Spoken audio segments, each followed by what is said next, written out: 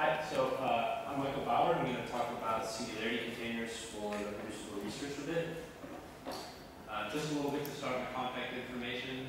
Uh, right now I'm working as an engineer at RStor. We're a startup in Silicon Valley, and they're actually graciously providing uh, funding for us to do singularity development work. Uh, and then also you can contact me on GitHub or my personal email address or my company email address, it's whatever. So just to start, provide a little backstory how I got involved in containers and why I got involved in scientific computing containers. Um, last year I was working at a tier 2 center in Darmstadt, Germany for the ALICE project. Uh, and they were having a bunch of issues, so they tasked me with investigating containers for their HPC system. Uh, the HPC system you can see up there is the green cube. It has, uh, when it's going to be complete, I think this year maybe, they'll have something like 300,000 cores. Uh, and so they wanted to put containers on it to solve some of their issues. And so we started, as most people probably do when you're looking at containers, is we started look at Docker. Right? So Docker has a lot of things going really well for it. It's the most well-known, it's the most utilized. Um, it does facilitate, you know, sort of creating, maintaining, and distributing images, and they're sort of reproducible, as we've heard earlier. There are some issues that can come up with with crashes and corruption and archiving. Uh, it's easy to install. It's, it's a pretty you know, simple process to go through to use it for personal use. Um, but the, the one issue that we really kind of ran into is here number two up here is designed primarily for network microservice virtualization. It's not designed for somebody to allow uh, a random person to run any sort of job on their HPC system. Uh, now you might say, but Michael, I want to keep using Docker. The good news is you totally can. Uh, you have your, you know, your small cluster at home with, you know, five PCs with a bunch of graphics cards. Maybe uh, that works fine because you don't have to worry about security or trusting your users. Uh, and also for doing development work locally, it works really great. Uh, the not so good news is that when you want to put that on a very large HPC system, like something that I was working with at GSI, uh, is they're not going to put Docker on your on your HP, the HPC for you.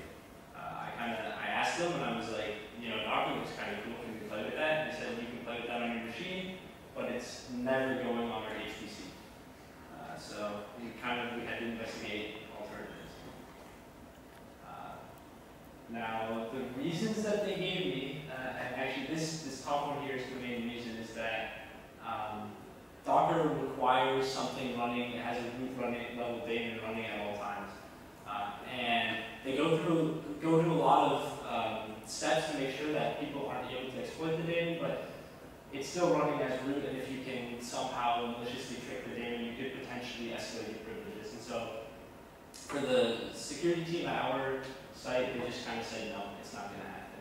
Uh, another issue, as we've been talking about Docker and integration into scheduling uh, systems. So uh, scheduling, we use Slurm at our, our um, supercomputer, and it doesn't really integrate very well into that. You have to sort of go through some hoops. It's obviously running the daemon. Um, there's some issues also running, you know, with Kubernetes, what we talked about earlier, and we didn't even have Kubernetes, so someone would have to install that. Uh, and again, there is some portability between systems, and it is really easy for users to create and, and maintain their own containers. Uh, and so for us, this was a dead end. Couldn't do anything from there. Uh, and this is where I actually I found Singularity. Uh, and so Singularity is, is a container runtime designed for specifically HPC. And it fulfills, in my mind, one of four necessities for an HPC container software. One, any user can run any container they want and they're never going to require uh, root level privileges. The two is that you're going to have be able to integrate seamlessly into your existing architecture. There's no changes necessary. You can use your Slurm or you know whatever you want. Number three, it's portable between many systems. The way that Singularity is designed, it turns out it, it works on earlier kernels as well as future kernels. Uh, and it's very, very portable as we found. And number four, also, you can make your own containers. You can bring them with you. There's no issues with that. So Singularity any user running a container on the host is going to become the same user that they are inside the container.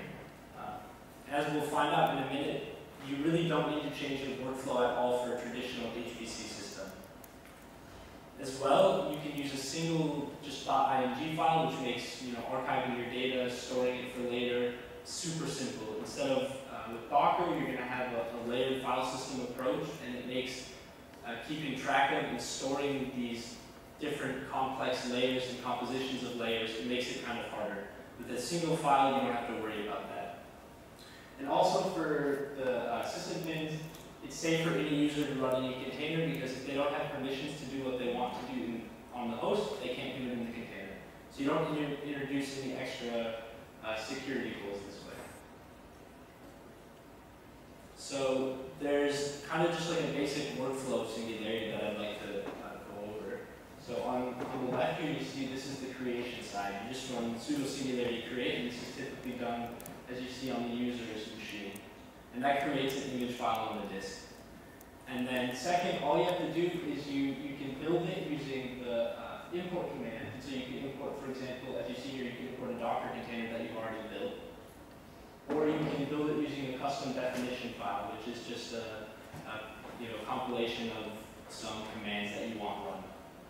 Uh, and then if you if you want, you can just shell into it, you get a shell inside the container and do some interactive modifications to it.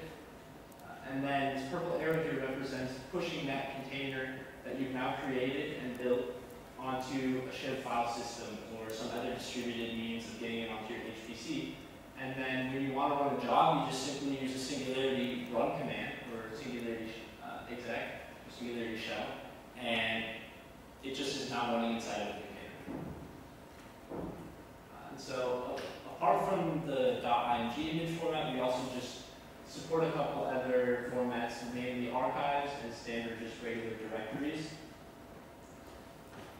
And then another really, really nice part about Singularity is that we have direct integration of Docker into Singularity.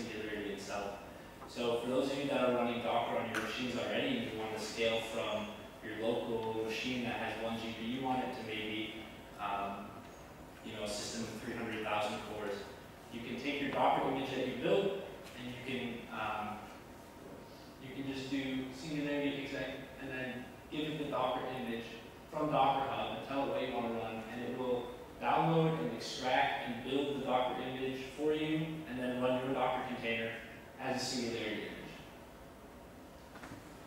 And then, uh, just to prove that it, it, does something slightly useful, uh, you can also see that you can run TensorFlow and get some sort of results at the end, and it actually works. Uh, not only do we support Docker integration, there's also a Slurm plugin for it for so for those of you that are using Slurm at your system, uh, it's actually even simpler. All you do is in your submission script, you just specify that you want to be running with an image, and everything else stays the same. You just run the exact same submission script, but everything's now running inside the container. And that's what I have for you.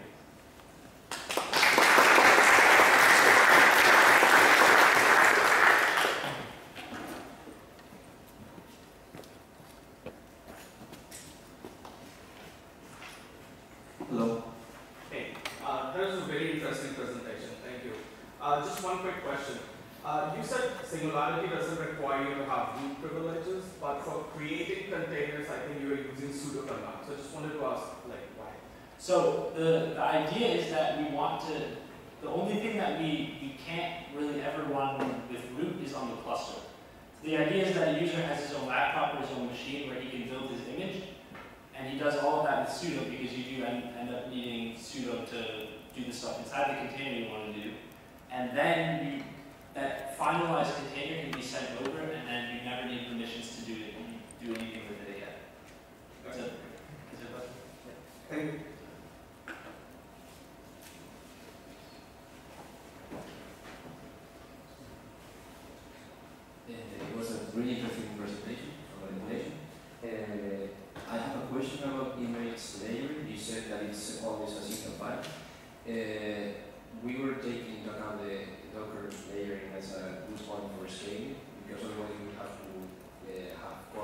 the same, maybe potentially the same uh, layers. Uh, is foreseen for Singularity to implement some layering and so on? Um, we've kind of discussed on that idea because there are pros and cons.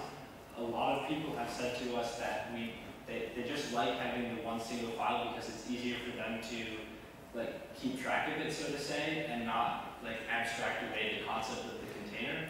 Whereas with Docker, it's sort of you mysteriously hidden behind docker pull. Um, and so we're not sure. I, there are ideas that have been proposed, but it, Thank you. Um, I was wondering if you if you're um, running asking to run Docker containers if you download on, on fly, where where are those cached, if anywhere? um, And, and do you run into the same issues with some some some directories somewhere secretly being clogged up with stuff and you're not aware of it it's either? where are they cached? Um, yes, they're cached somewhere. They're, I mean, they're, they're just tar archives, so they're downloaded and then they're extracted, and then um, I want to say it's the part of the installation directory. There's um, a cache folder in there, and then it's it's cleaned up after. Another, another quick um, I wonder whether not um, de- de- deduplicated file systems are perhaps a solution. The um, issue of not having layering.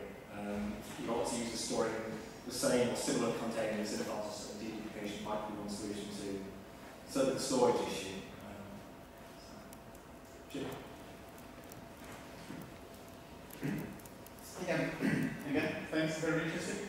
I, I wanted to give my earlier presentation as well, uh, how do you actually gain access to special hardware like graphics cards, or perhaps not even say that it's also possible to, for example, get access to USB devices, etc.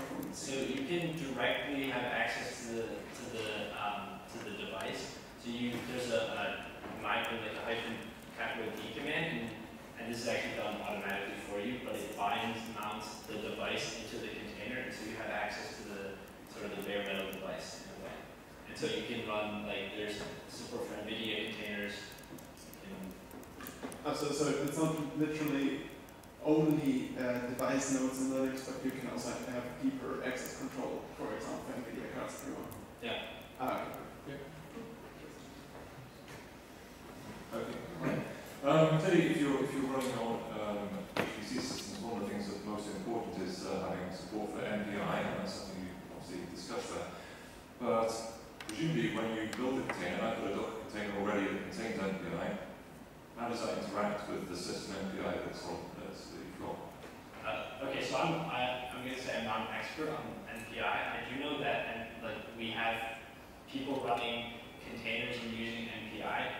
Um, I want to say what is happening is that s- you're still running MPI on the host, and then you install MPI in the container, and then it communicates and just runs as normal. Um, but I'm not 100% sure. Yes, I mean, some of my experience is that it's actually not always a very smooth uh, transition, particularly if you have different versions of MPI on the host that um, in the container.